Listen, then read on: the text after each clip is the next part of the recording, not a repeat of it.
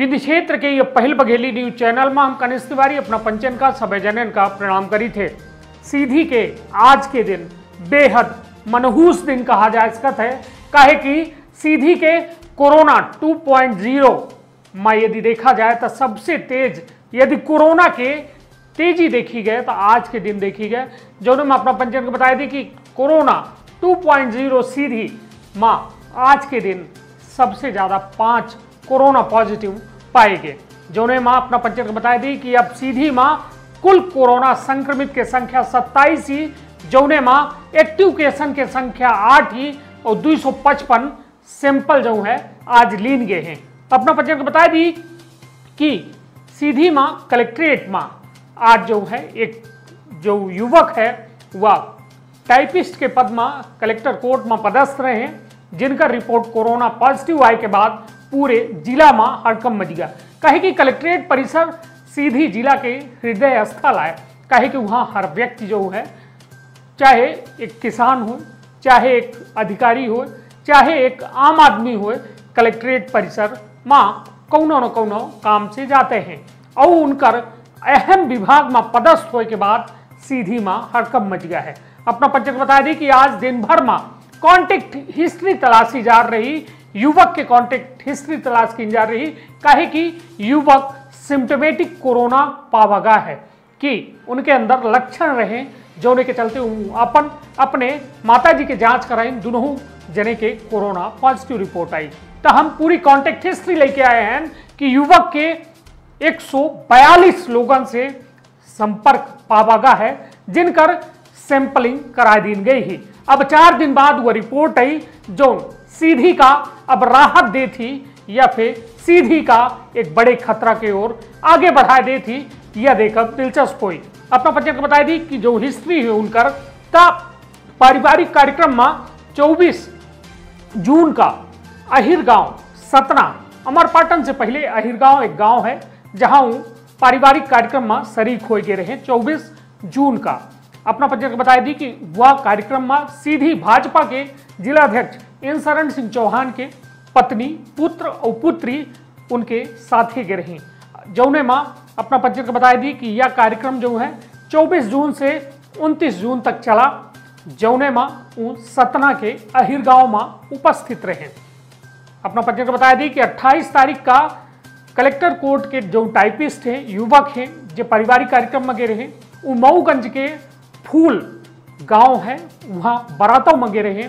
उनतीस तारीख का बारात लौटी और तीस तारीख का युवक सीधी पहुँचे।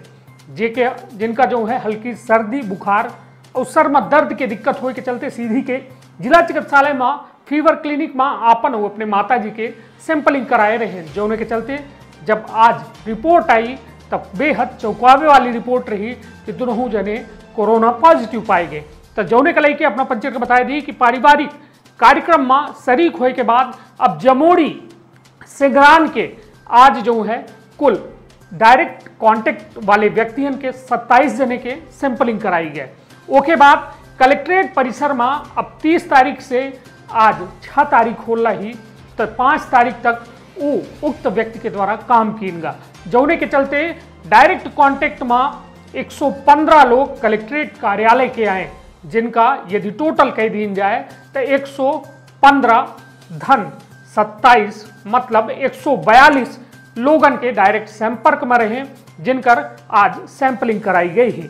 अब चार दिन बाद वह रिपोर्ट आई, जो जिला खीतिर बेहद अहम ही कहे कि कलेक्ट्रेट परिसर से वह हर व्यक्ति जुड़ा है, ता फे प्रशासन खातिर एक बड़ी चुनौती हुई कि यदि रिपोर्ट में भारी संख्या में पॉजिटिव आवत है, तब सीधी के सबसे बड़ा कोरोना विस्फोट हुई, और वो दौर में सबसे बड़ी खतरनाक बात यही और सोचे वाली बात यही कि अब यदि वह दौर में यदि 142 लोगन के रिपोर्ट में कोनो व्यक्ति की पॉजिटिव आ जाती तो उनका कॉन्टेक्ट हिस्ट्री ढूंढत बेहद बड़ी चुनौती हुई प्रशासन खातिर। कहे कि सीधी के हालातों हम अपने साथ चल रही या वीडियो में देखत हो हमरे कि जौने में सीधी आज आठ एक्टिव केस पाए के बाद सीधी इतनी लापरवाही यह हम नहीं कही यह सीधी के प्रशासनिक अधिकारी के लापरवाही रवैये की वजह से आए। कहे कि वह दौर एमपी संदेश न्यूज़ 24 अपना के दिखाए है, जब लॉकडाउन फ़र्स्ट रहा सेकंड रहा थर्ड रहा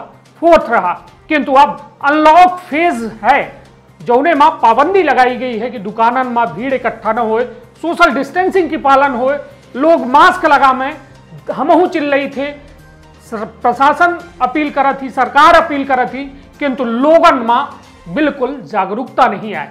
जो बेहद चिंतनीय है किसी भी आगामी दिनन माँ का चीन के बुहान में तब्दील हुई यह एक बड़ी चिंतनीय विषय है।